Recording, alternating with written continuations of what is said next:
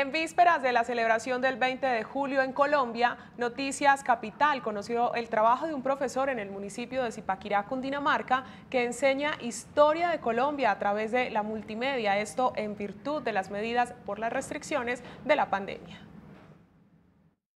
Con videos como estos, el profesor Carlos Alberto Gómez presenta a los estudiantes del Colegio Buenaventura Jauregui en Zipaquirá Capítulos de la Gran Colombia, la historia de la independencia, la patria boba o la ruta libertadora.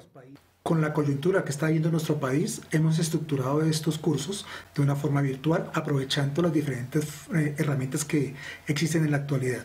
Entre ellas, estamos utilizando Google Classroom para colgar todo el material de consulta y contacto más directo con los estudiantes.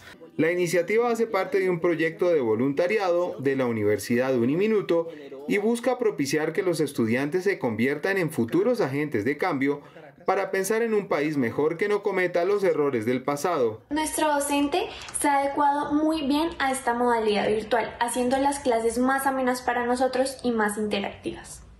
Para los 72 estudiantes inscritos en la materia de Historia de Colombia, este es un proyecto que ha beneficiado su proceso formativo. Sus clases llevan un concepto muy dinámico que el profesor utiliza técnicas como dibujos, eh, mapas y yo considero que esta es una mejor opción de aprendizaje.